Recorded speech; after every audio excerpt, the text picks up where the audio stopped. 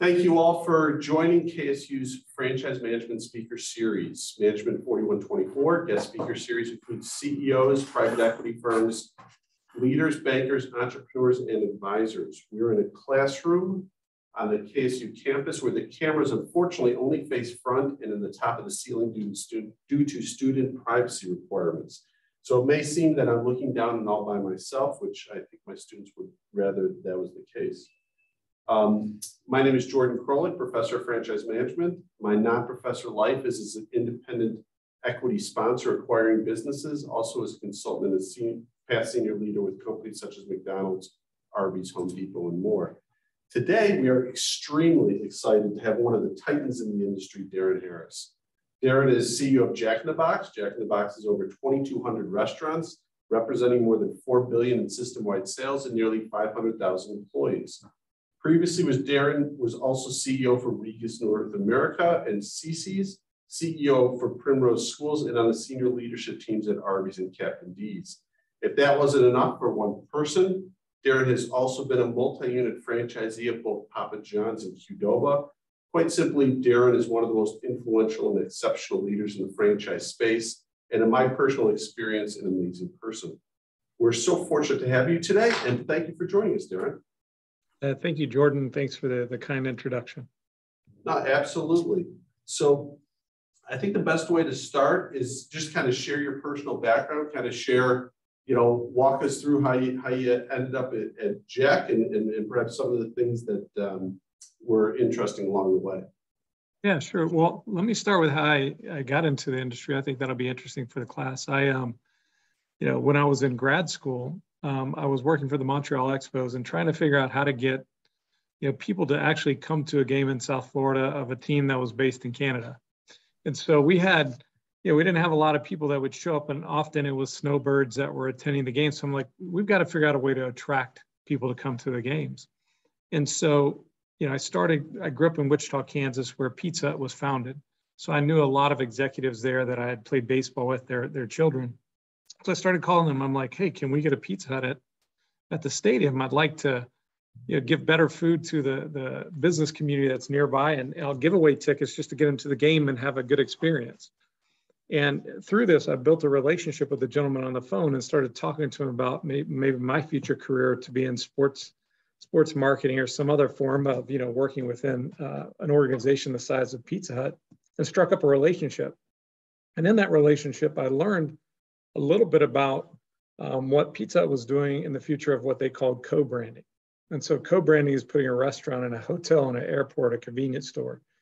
And so I left the conversation, I went back and I started doing some research and ultimately did my grad school thesis on um, co-branding.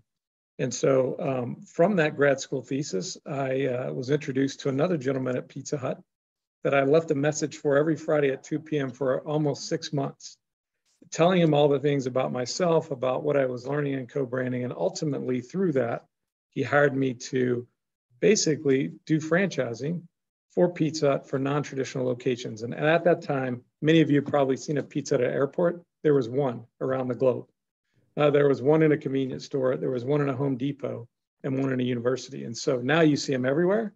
But at that point, there were four of them. And two years later, I, I was hired once once he finally called me back, he he invited me in over the holiday break and hired me on the spot. And two years later, we ended up with 200 locations uh, in those type of venues. So that was how I got started.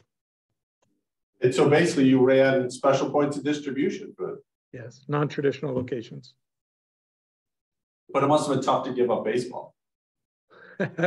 Always tough to. I don't think I've ever given up baseball. I'm still thinking I can go out there and play, but but uh, no, it was definitely tough to give up baseball. But um, what I found was that uh, the franchising community offered me something that was different and it's still competitive.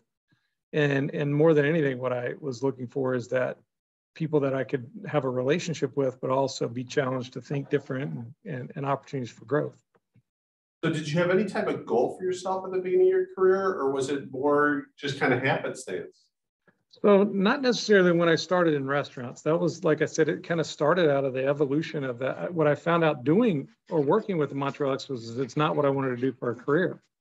You know, baseball is great to play, but I didn't necessarily want to do the, the business of the business. And so I learned through this research, this is, was interesting to me. So I pursued it and had an opportunity to join Pizza Hut and then ultimately learn franchising. And once I got into franchising, that's when I started thinking about career aspirations.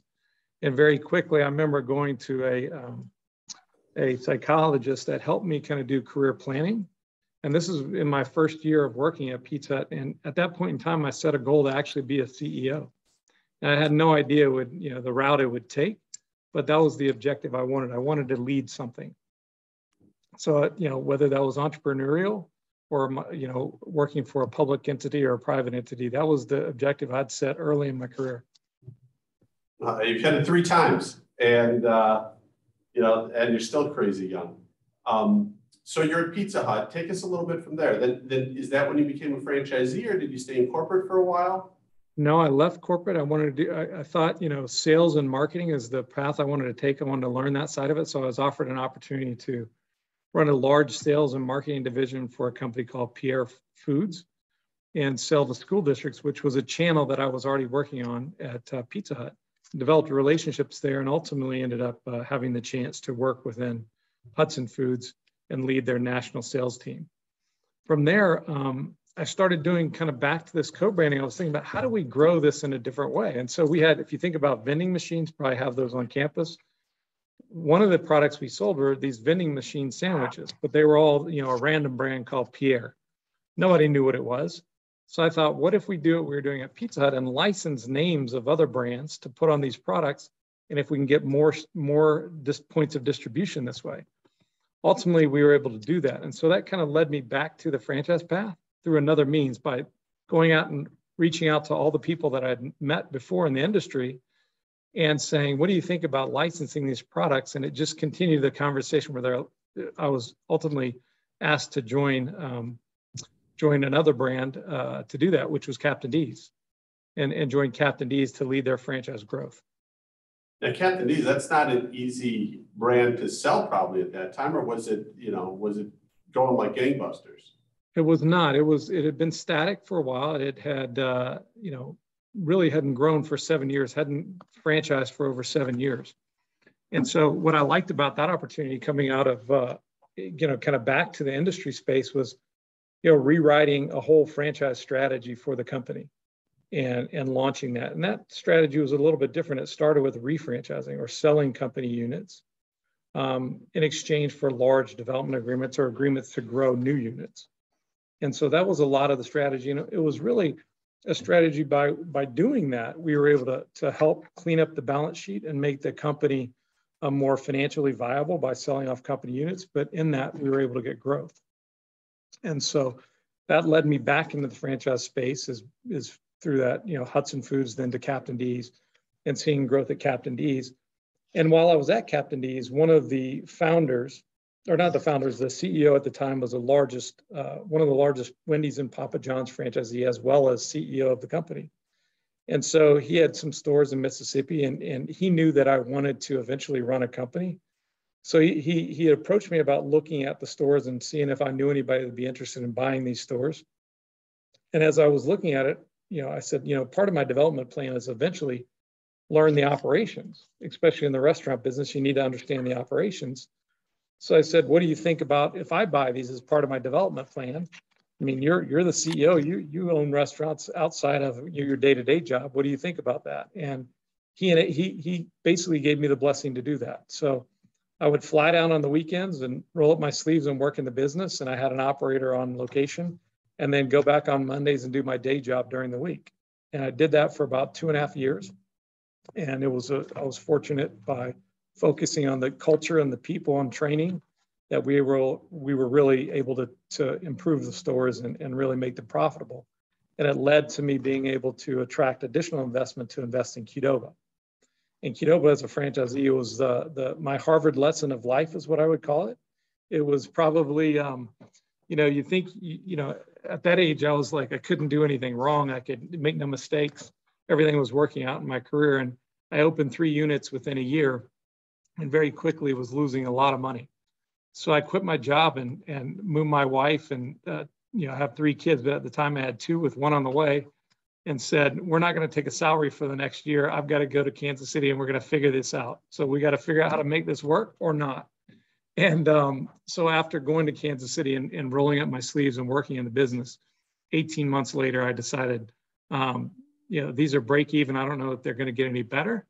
Um, you know, and, and rather than lose everything, continue to run these or build more, it's better if I sell them. And ultimately I sold them. But the lessons that I learned and the challenges that you face, you know, during a crisis standpoint uh, were amazing and pre- what prepared me for where I am today. Um, I don't think if I wouldn't have had both the success and the failures as being a franchisee, I could be as uh, good of a leader as I am now with our franchise system. Franchise systems, uh, what I would share is uh, always have challenges. And so being able to really put the lens on of a franchisee and communicate their languages, I've been there. I remember those days when it was hard to make payroll. Also remember the days when the cash was just flowing. And to, to be able to, to connect in that way just gives you a lot of credibility, but it also um, gives you a lot of empathy for what they're doing on a day-to-day basis. So, you know, we tie, unlike all your analyst calls and that type of thing, we tie everything back to what 21 year old decision people who are making life decisions are. When you think about like, let's say one of those lessons, what would it be? You know, what would be kind of the, the key takeaways as you, as you look back and, you know, because I have a number of entrepreneurial folks here um, what, what would be kind of the takeaway that you would share with them? So, you know, uh, one, I, th- I, think for this perspective, depending on the, the franchising relationship, what I always took away from it was, you know, what, no matter what business you're in, you always have to be able to put yourself in the eyes of the, the customer or, or the other person you're working with, trying to understand the conversation, the situation from their lens prior to just, you know, whether you're a leader of a company or whether you're a leader of your own entrepreneurial business, you've always got to, to be able to connect to the, the, the person you're dealing with to be able to influence them. So whether it's a guest, whether it's a um, person, I remember that advice I had from mentors, put yourself in their shoes first. And so as you're thinking about the conversation with a franchisee or a guest, a customer, what is it they want to know? What is their perspective? And in order to influence them, you're going to have to do that. So that was one of the early pieces of advice. The other piece of advice, which seems strange, is that, you know, as a young entrepreneur, especially for an entrepreneurial organization, you know, I even coach franchisees today is when you're going to go into an investment in franchises, there's there's a matter of risk. And part of that risk doesn't mean it's always going to work out no matter how good you are. There's sometimes there's other factors that come along.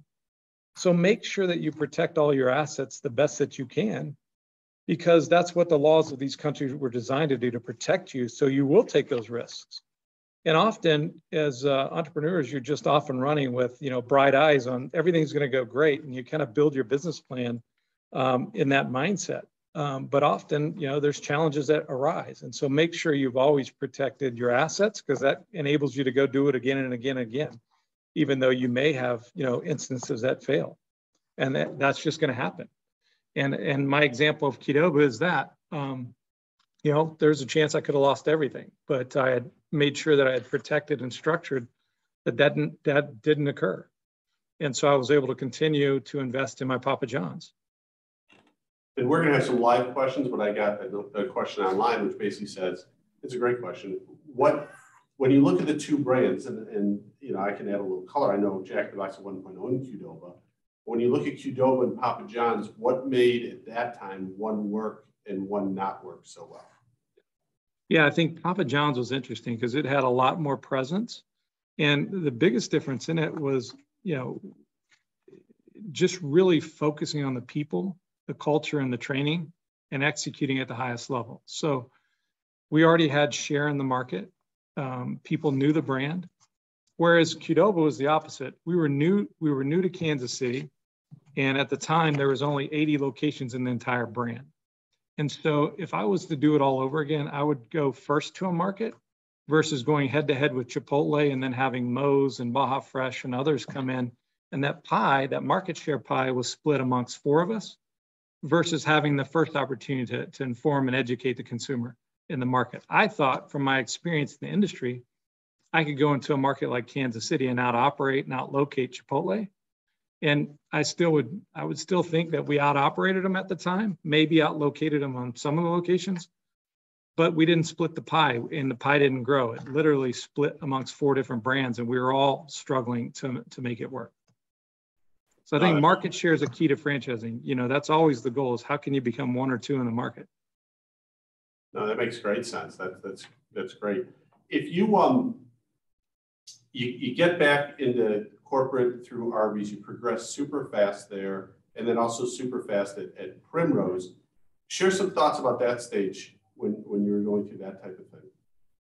Yeah, I think for me at that point in time, um, it was the first time I had access to, um, you know, really strong leaders around me to help to help me grow and broaden my experience. Most of my experience had been in development and franchising, and then that operations.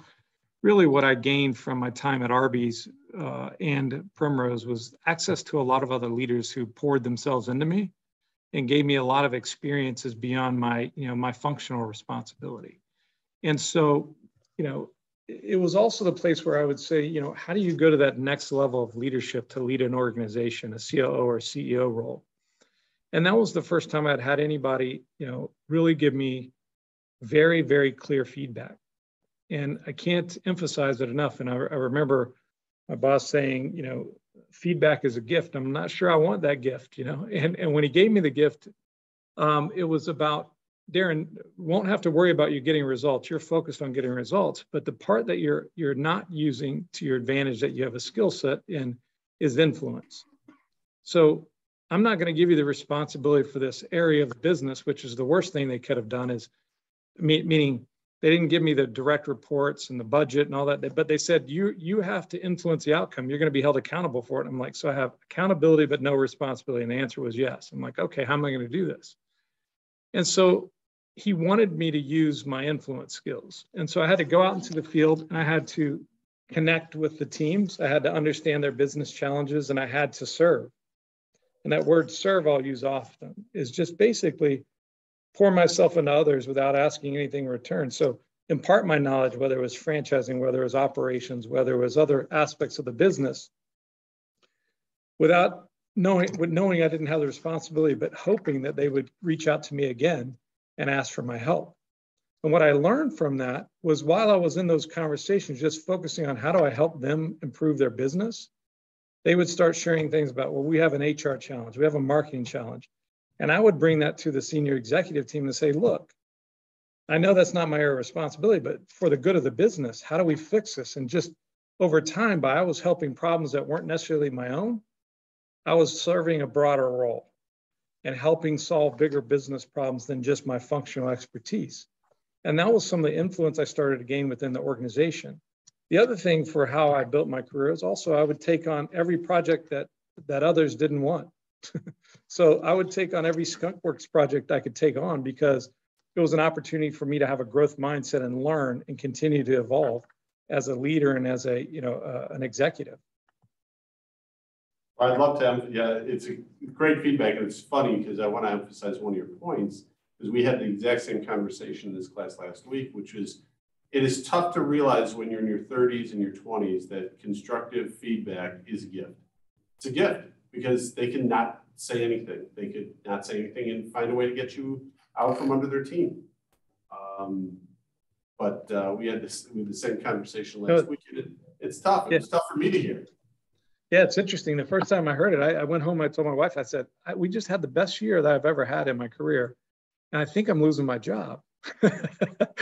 and so I came back after a month of just kind of letting it absorb and and addressing and saying, you know, I need to understand where do I stand, you know, what, and, and the, the gentleman that gave me the feedback started laughing. He said, I was hoping you would ask. He's like, things are great. We're trying to help you see it from a whole different view and go to a whole different level in your career, not just continue to do what you're doing today. Yeah, no, I, I was on a retreat with Jim Collins, the good to great guy. And my boss, you know, I was probably being a little too much, as you know me, I adapt to be. And my boss said, nah, what are you doing here? And he gives me this whole dress down, you know, privately, handled it perfectly. And I called my wife, same thing. I said, Can you believe this guy? He's, and then he told me that the feedback is a gift. And she said, It is a gift. Shut up and get in line. That's why we've been married 27 years. Um, so now let's talk about that first jump. So now you're you're you're you know on the senior leadership number two at, at, at Primrose, but then you make the jump to number one. Tell us how that you know that that's is that a huge jump? Was that just you know just nice? Was it were the roles very similar? Were they very different? Um, share with share us share with us some thoughts about that. Yeah, I think um, there were definitely some similarities or definitely some differences. There's not one or the other. I think um, you know I was fortunate because I had someone that was a founder, um, that was the CEO and and you know chairman of the board, and they truly wanted to find their successor, and so they came in with a mindset of you know kind of bringing me along in the process and so the first couple years, I could focus on two or three area of the, uh, areas of the business versus trying to learn it all. And so I was able to take my time and ramp up into, you know, eventually running the entire business. So, you know, um, understanding marketing at a deeper level, brand positioning work, you know, that was the expertise of the founders. So, you know, she rolled up her sleeves and taught me that part of business that I, that I had not had experience before. Um, franchising, I knew, development, I knew. Um, operations, I had, had run operations, so I knew all three of those, but the area of marketing I needed to strengthen. And the finance I'd had exposure to, but never had responsibility for, or IT. And so those were the last three things I took on and, you know, really, you know, made sure I understood, you know, uh, substantially. So the first couple years is really take on one or two different areas of the business. And, you know, by, by year three, I was running the whole company uh, on her behalf. And so it was a nice, a succession plan to be able to work into the role. I think the biggest thing that, you know, I learned from her was just culture and how important, you know, creating culture within an organization um, and how it can be a differentiating factor. People are, you know, I had a similar belief that people and culture are 90% of, you know, success as long as you have a clear strategy what her challenge was as an entrepreneurial founder was she didn't have a clear strategy. Every day there was a new idea and a bigger idea and a better idea. And so I remember my first meeting with her, uh, she had sat down and she's like, let me share my strategic plan. We have 150 items on it. And I'm like, wait a second, how many people do we have? So how do we go from 158 items to seven big things that we can really rally the whole organization around while you're teaching me culture and people? And so that that's what I brought to the table for her while she was bringing me kind of the culture and the people side of the business and showing me how to really create culture within an organization. And I, and I want to remind everybody, again, the, the cameras are in such a weird spot that if I look at the students in the class, um, it may look like I'm looking down. We have a question, Ethan. Yeah, hey Darin, uh, my name's Ethan. So as you're kind of walking us through everything that you've done over the years to get where you're at today, looking back, is there anything that you didn't do that you wish you had done, um, maybe early on in career or just at any point in general? Yeah, I think you know I'll just give you perspective on on Primrose, um, and and I would go back to um, also the thing I you know was focusing on at Arby's. The feedback I had received is, you know, results are only one piece of the puzzle, right? The ability to influence and serve and bring people along are critical to go to that next level of leadership. And so I was wired to achieve, you know, and so I always knew I could get results. But that was the piece that, you know, really at the end of my Arby's tenure and the, at the start of my Primrose is where I had to focus my development as a person because I knew it was there, I had it, but I just wasn't accessing it and using it as a tool in my toolbox. So how does that come to life? What I didn't do is I didn't go out from day one and build relationships with all our franchisees. I did it over time, but I could have got a lot, a lot of things done a lot faster by going out and investing that time into the people. And the same with the team. I was focused on strategy and execution versus I could have got a lot more done faster by that relationship building. So come full circle, by the time I get to a CiCi's or a Jack in the Box, guess what I was hired for?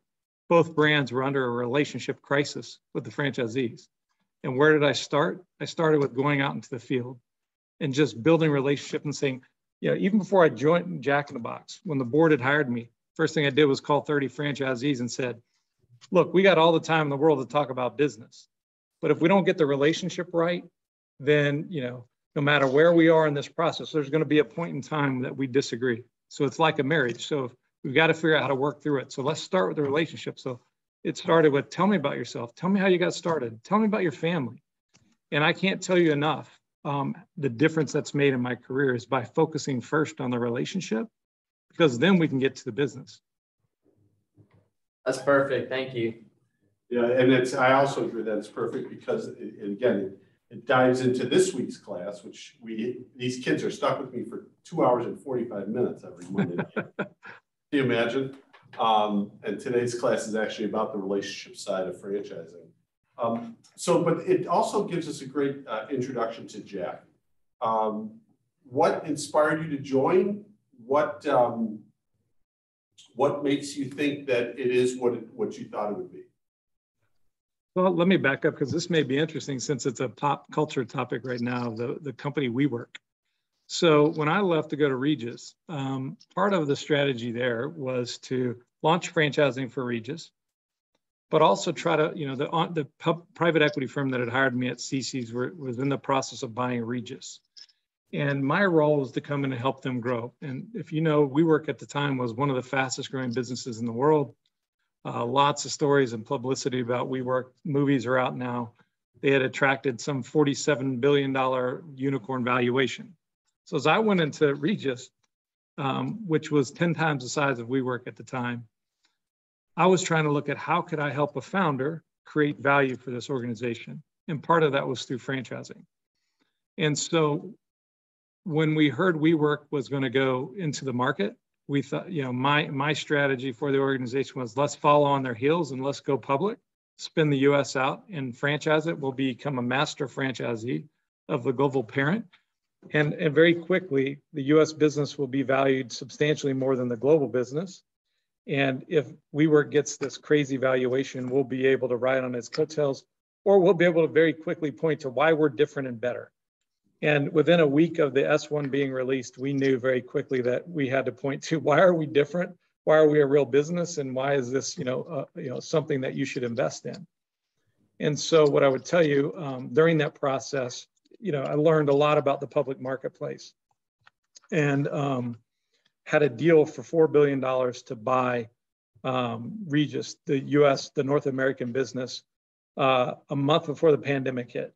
And so once the pandemic hit, um, Jack in the Box was doing a CEO search and had called me, and I knew some of the board members and said, "I'm in the middle of a transaction. I can't leave." And um, and I'm I was working in my my chairman of my board would be a crazy founder named Mark Dixon, the, the founder of Regus. And um, I said, you know, I don't really want him as a business partner, but I made a commitment. I'm going to stick through it through this deal and uh, make sure we close out this transaction and then the pandemic hit and there's always a blessing in there somewhere and that was my blessing is that the pandemic hit and uh, and and the deal fell apart um, in the final hour and um, and basically that that industry has changed forever um, the flexible workspace industry. And the board called me and said are you sure you don't want to talk to us? I said let's talk. And uh, ultimately when they approached me they approached me with four things. We have a relationship issue with our franchisees. They're suing us. Um, they don't like the way we've run the business or the, the prior leadership team. And that leadership team had been in place for, you know, I was the first outside CEO, meaning everybody else had come up from within. Second, uh, we think we've lost the character and positioning of Jack and, and why Jack is um, important to the customer. You know, being clear and communicating who our brand is and why we exist. And so third is growth. Um, and growth is going to unlock shareholder value. So we have to build more units. And the fourth thing was, you know, really what is the right story and platform that we can scale this brand?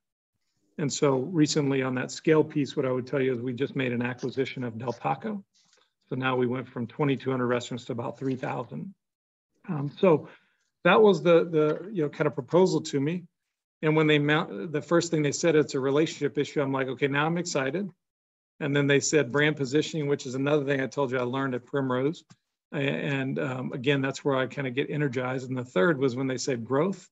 And Jordan and I have, have worked together on growth before. Um, you know, I knew we had a, a, brand with 2,200 restaurants that should have been a nation, a national brand. And then I knew we also had the financial resources that I could take this and create a platform for building and, and, and plugging in other brands into the platform. And so that became an opportunity that really excited me and, and, and why I joined Jack in the Box.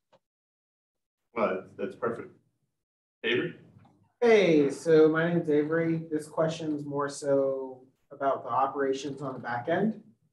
I know during COVID especially, I noticed y'all were based out of California. Mhm. How is that transition back to the office or back to potentially visiting stores going for you? Yeah, it's good. from it? Yeah, it's a great question. I mean, uh, uh, you know, I don't think it's interesting. Um, when I joined the organization, my leadership team or any of the team members of the team were not in the office. So I met them via video. I had some people, as you mentioned, because of California and some people being more sensitive to it out here, would not even meet with me in person that were leaders of the team because of some of their fear base. And so very quickly I had to learn a different way to, to go about doing business through, you know, more of a flexible mindset. Good news is I just came from Regus and that was the business we were in, right? Flexible workspace. So, um, you know, but it's still, I can tell you it wasn't easy. You know, those, those conversations, you know, I, I, let me back up. I'm a true believer in flexible workspace, meaning creating environments that employees and, and, and people respect them as adults and, let them do their job and get out of their way. But you also, the piece that you miss in that is those hallway conversations, when it's just learning about their family, learning about what's going on in their life. Or, you know, hey, you know, and uh, telling them what a great job they did on the last project or vice versa. And what you found, what I found myself doing and everybody in the organization was we were spending all this time on these Zoom calls, really focused on the business of the business and they would be efficient and effective, but you lose so much in between because you're missing these like connections and the the connections with people and what's happening in their lives. And those are really what I would call the momentum builders. And so what I found us changing was that we were making sure that we would at least leave 10 minutes at the end of every meeting or the beginning to just do personal connection. And then we would actually schedule time to do fun and other things to make sure that just it was relaxed. It wasn't about business because otherwise you're like, finish the business, hang up, and you're off to the next thing. And we were losing a lot of you know things that were sometimes, you know, the feeling of the stress within the business. What's really happening behind that call, and and you didn't really know what was going on. So I don't know if that answers it, but I can tell you it was definitely an interesting way to start within an organization when you you're a leader that really focuses on the people but yet you wake up and you're 60 days in and you haven't you feel like you don't really know what's happening with the people. You have to make some changes. And that's the, the the biggest thing is i started scheduling time to just say i don't want to talk about the business. I need to know what's going on with you. Tell me how your team is feeling. What's happening with them? Fast forward though um, what i would tell you is that now as an organization culturally we've moved from an office organization to a flex working environment so you pick which days of the week you want to come to the office two days a week minimum. And, um, you know, at the times you want to come in, we just ask that you, you, you know, you try to be here during specific meetings. And other than that, you get the flexibility to choose. That's fantastic. I mean, it's funny, the, the thing that I've learned through COVID is less even about the connection. It's when you have bright people, you're gonna have conflict. And when you have conflict, and it's natural, in fact, it's helpful. Um, but when you have that conflict and then you don't see the person the next day, so maybe you had a, a disagreement in the meeting and the next day, if, if it was a fully five day week environment, you see them and you kind of walk by. And then three days later, you walk by, but you do the head nod. And then five days later, you kind of fix it and it's worked out. Yeah. Well, now those five times that you've seen that person is spread over five weeks. And people tend to get further and further apart, festering with some of those problems. Have you seen something like that? Does that make any sense? Am I nuts? Yeah, I thought, no, I think what's your point of conflict? I mean, it's the opposite, the avoidance of conflict.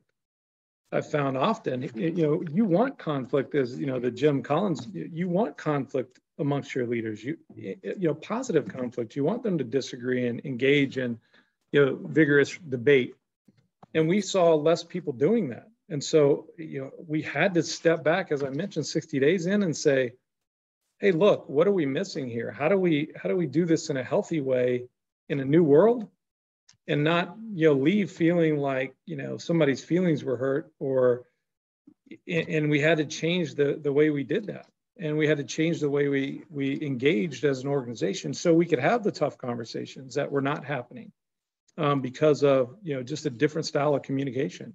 You can't always read what person the person on the other side of the, the video screen is is really thinking or feeling. You just can't. And um, you know i think there was a, a commercial at one point where the guy didn't realize he was actually you know i think is the commercial where he's on a, a conference call and he's making faces at the at the uh, machine in the in the center of the room with the intercom, and there's other people in the room, you know, and uh, you don't even realize it. And so it's the same kind of thing. You just can't read what's going on and fully understand how people are engaging or interacting to to step in and make sure that we're having those tough conversations. Yeah, I'm, prep, I'm prepping this for the next for for 20 minutes from now when we're having class, but it is tough with email, even pre-COVID, to get emotion across. Absolutely. And you lose something with that. Um, turning to franchising a little bit, going back to it. So, what is your franchising philosophy for Jack now? Philosophy? Like, give me an example. What you mean by philosophy? Like, are you going to, you know, aggressively grow, attack some of the oh. new markets, perhaps east of the Mississippi, yeah. um, really strengthen your your core markets? Um, yeah. So for us, our first focus was get our existing base of franchisees. Our first focus was make sure our economic model was right. We had a good economic model. And then with the relationship, ask our existing franchisees to fully penetrate the markets we're already in. We're in 21 markets. Um, and we still had space in our largest penetrated market of Los Angeles. And so it was really let's focus on getting our existing base to grow again in our existing markets. So we just signed 200 agreements to do that. And then second, it starts to say, where else do we have presence or you know what we call our wagon wheel approach where do we have a kind of a hub that we can build where people have knowledge of the brand versus going across the company like the brand had done in the past with with you know basically a hope that people are going to recognize us as we jump clear across to Florida. Our focus was not that. It's you know let's go to markets outside of our core. And so our first is uh, you know first new market that's right outside our core is Salt Lake City. And so we're aggressively growing in Salt Lake City. As an example, you know, we've already signed five people up, including corporate, to invest our capital, and and four other franchisees that we're all going to grow at the same time, so we can penetrate that market and then repeat it somewhere else. So our our method is growth, but it's to grow, you know, as fast as we can grow, but in a you know sustainable way, starting with next to our core first, our core, then next to our core, and then once we start some momentum three years in, we'll go to, we'll develop a regional hub. And the regional hub we've identified is we'll start in Louisville to penetrate the Southeast corridor.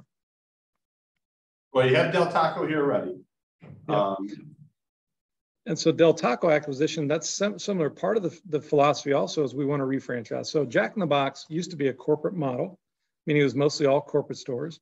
It went through a transition um, to being a franchise model, uh, what they call asset light, we're owning 90% of the franchisees owning 90% of the business. Um, my perspective is that we're why 90%? Why aren't we 97 or 98% franchise? So go take it to the next step and go ahead and do that. So we're going to do that with the brand. We're going to refranchise the, the, the remaining corporate units in return for growth. Um, and we're also going to do the same with Del Taco. Um, what's nice about Del Taco is it overlays our current geographic footprint. It gives us scale. Um, it, they're 50% company owned and franchise owned, so we'll sell off their fran- their corporate units, giving large developers the opportunity to grow. But also, we have a lot of existing franchisees um, that only have the ability to grow three to five locations in their current territory. So Del Taco immediately, if I sell them five locations, they can go build 10 more right around where they already have a base of operations, which is good for them and it's good for us. And so we thought our first acquisition should be somewhere that's similar geography. So we could utilize well-capitalized franchisees that Jack in the Box had, that we already know their operational patterns, and they can take over some of the Del Taco and, and, and build them out. So that was part of the strategy. The second thing is as we think about investments, to compete in today's marketplace, we're creating centers of excellence is what I call them. I learned this at Regus. So where do we where do we take non-value added activities out of the business or capital intensive things in the business and where do we both share in those centers of excellence? So for example, digital.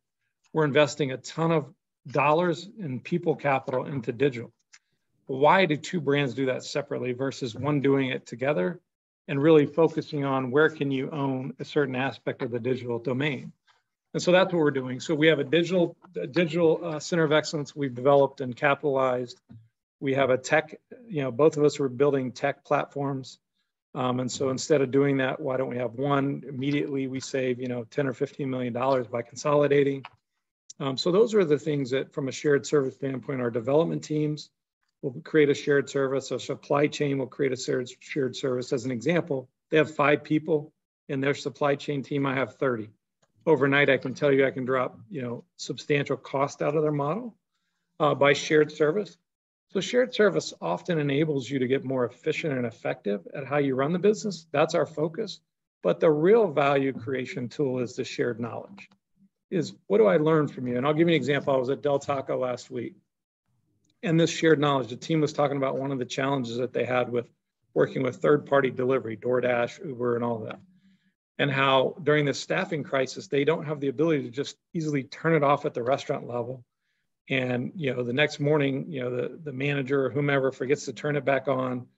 And this i'm making i'm, I'm simplifying turning it off and on.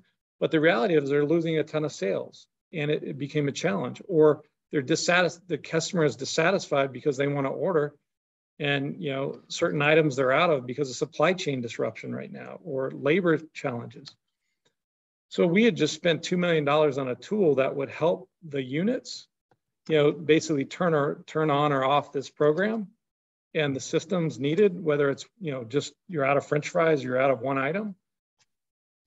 By learning that was a needed there, as I immediately could add value by saying, wait, we just developed a tool we can implement in your system overnight and you don't have to invest that capital. And they had they had a, a similar example that I'm like, wait a second, you've already got that?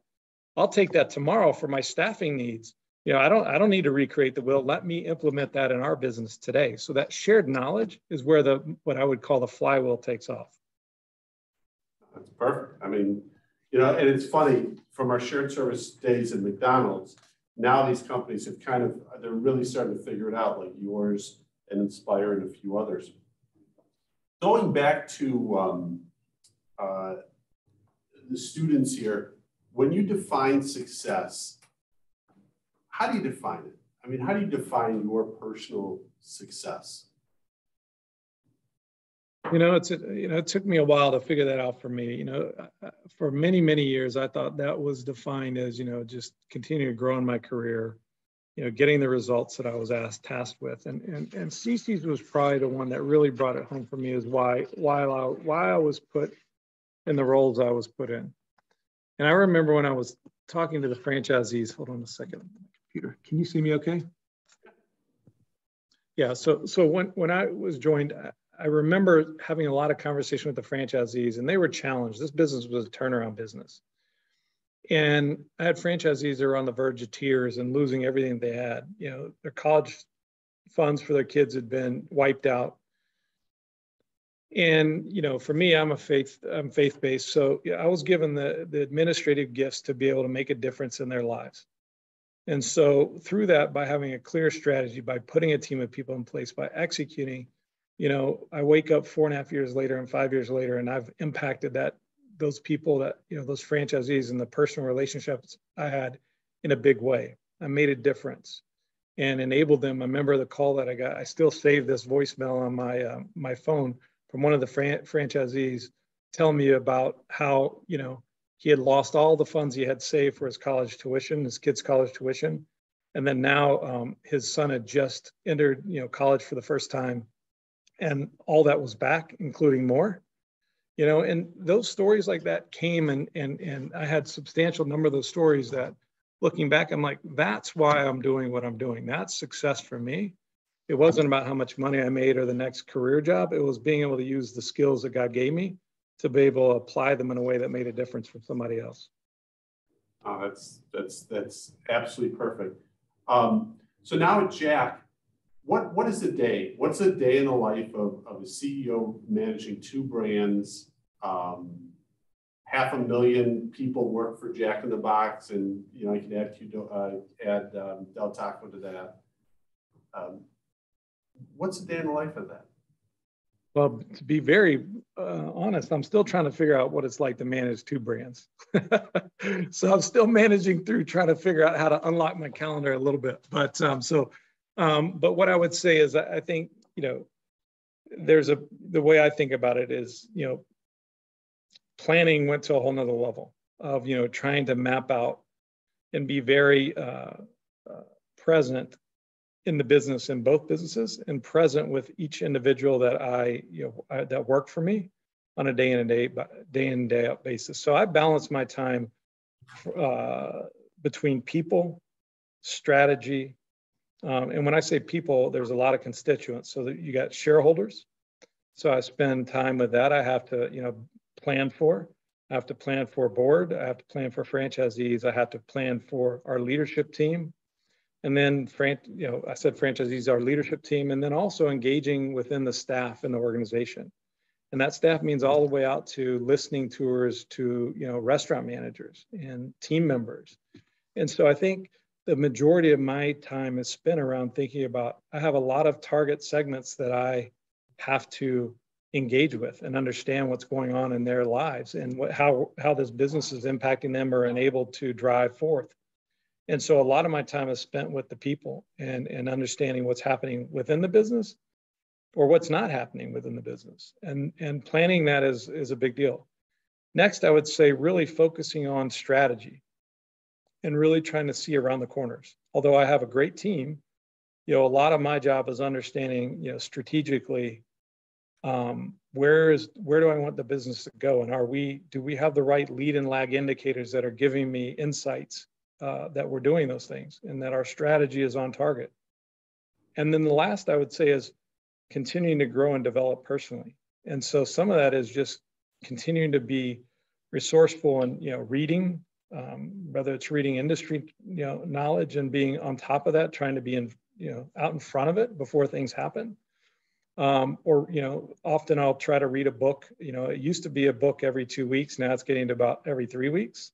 so, so um, you know, I used to read a lot more, but now I think I've found myself really you know, doing a lot more reading around industry and just kind of you know global, you know, or macro issues um, because of how much it's impacting the business than I ever have before versus more leadership type of you know uh, uh, trade publications or leadership uh, knowledge. So I'd say that that's a little bit of balance of my time. I would say you know, probably the area that um, we all need to get better at as, as leaders, or, or many that I know, is making sure there's thinking time. Because um, there's always more meetings than you could possibly, you know, um, take in on a day-to-day basis, and and you know, decisions that need to be made. But you also need to definitely set aside time to think, and um, and so I try to balance that. And then all, lastly, um, making time for family, making time for your personal life, and you know, staying healthy.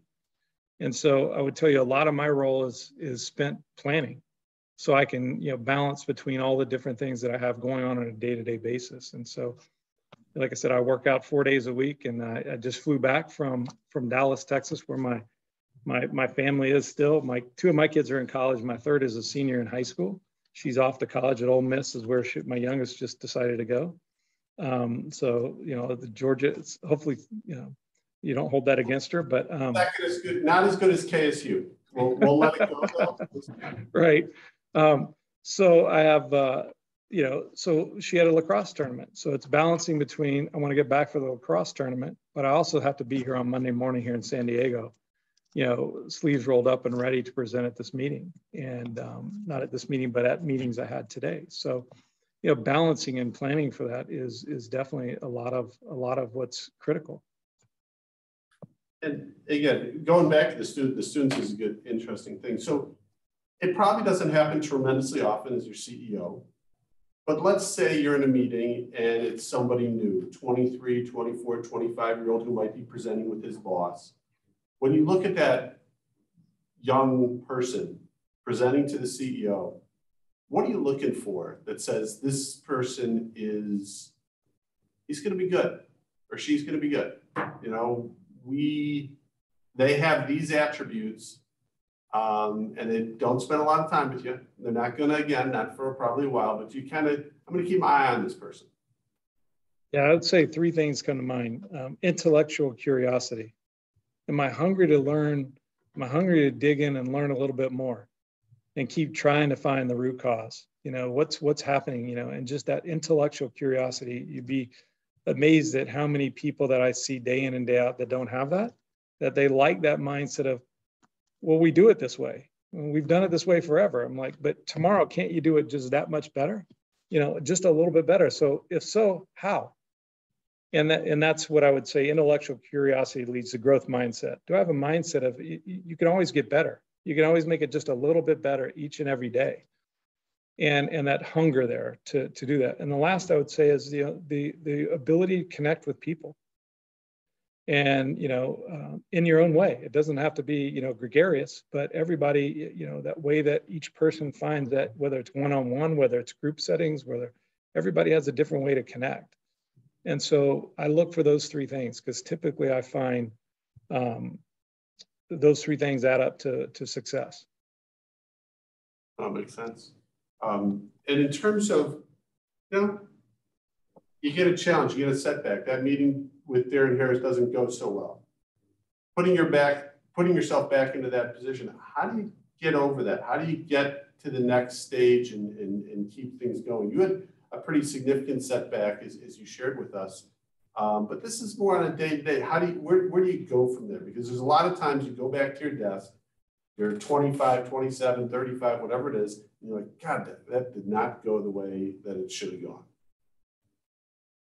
Yeah, I think, um, you know, that, that willingness to learn and understand and, you know, really self evaluate what didn't go well. How can you learn from that? How can you grow? How can you um, you know, reach out to five other people that, you know, have been successful and help them help you understand what occurred. And then start to take action from it. You know, pick one or two things from a development standpoint that you could learn and do different. You know, I thought I was a, a better operator than I was when I operated franchises. You know, and when I learned, you know, areas that I could have done better um, from from great operators, I was able to apply those. And so, just keeping that, uh, what I would say, that open mindset um, and not thinking that you know you have to be the expert at everything, but supporting yourself with great people around you that can you know add value. And I remember being a franchisee to that point as a failure. And back then, as a franchisee, and I find this all the time with franchisees, they're so busy because they have limited resource in people and time and, and money that they fail to call a, a, brand and, and say, well, I know better than you, instead of picking up the phone and saying, I've got, you know, 500 people here that want to help you. You know, I want, maybe you don't agree with their answer, but listen, they're going to give you a different perspective than maybe you have every day. And if you're open-minded to that, you don't have to, you know, have all the resources. You have people there around you. And so whatever role you're in, you have people around you that if you reach out and ask for help, and say, I'm thinking about this. You don't have to take all their advice, but in there, if you learn one thing from it, it impacts your business. And often franchisees I see on a day-to-day basis, they get so caught up in the business that they forget to reach out and know that they have, you know, a five, you know, 500 person team available to them at, you know, a moment's notice or a request. And um, and so you know, it's the same I would say hold true. When I was a franchisee, I didn't reach out and ask enough people for help whether it was a franchisor, whether it's friends, whether it's mentors, colleagues, you know, and that was one of the things I missed about being in the corporate world when I was a franchisee is I didn't have that. But the reality is I did have access to a lot of people. I just wasn't, you know, using it. Yeah. That makes sense. Chris? Uh, hi there, my name is Chris. Um, going back to your time as a franchisee, um, what were some of the things you did to turn around those Qdoba's that you had? I know you mentioned you got them to break even but what were some of the things you did? Yeah, um, I, I, think a few things. One is um, it started with the the willingness to be authentic and say I've got a problem, and going to the corporate office and you know telling you know, a lot of people that look I'm challenged. and, you know, saying, look, I don't have all the answers. And also, if I continue this, I'm going to be out of money. I'm going to fail. And so the minute I did that, uh, I, it opened up my eyes to a lot of people that had other ideas and other thoughts that I could leverage and access. And not only point out the things I was doing well, but also, eh, you know, encouragement, point out the things I was doing well, and also tell me, help me kind of see the forest through the trees on what I should stop doing. And I think, you know, more than anything, that was the thing that helped the most is just being willing to just not try to carry that burden on my own, but knowing that other people were there to help me and, and so instead of focusing on failure, I started focusing on, you know, even though I was doing activities, I started focusing on three to five things that I could really move the business forward with. And the first was, you know, people, you know, get the right people on the bus and, and make some people changes. So it wasn't having enough people, it was getting the right people. And in the Qdoba business, I had to get the right people to start with. And I went back to the basics. I trained them all over again, even though they'd been trained and, and went back to the basics, trained them again. And then I started focusing on how can I go out and market the business. Uh, versus the other, I started out with, you know, kind of all three at once, trying to market the business, trying to hire the team, trying to do, you know, too many things, too many priorities versus let me get the business right first and then let me go market it. That's great. Well, Darin, this has been exactly as advertised. Um, it's been pretty special for me to, to reconnect and to, to, to live vicariously through all your amazing successes. I know for the class, the ability that you've that you've shared to, you know, how this where the students go and what they need to do and where they need to go um, to be successful both in a corporate environment and a franchise environment has been uh, tremendously insightful. So thanks so much for your time, and uh, we really truly appreciate it. Thanks, Jordan. Okay, be Wish well. you all the best. Absolutely. Thank you. Be well. bye-bye.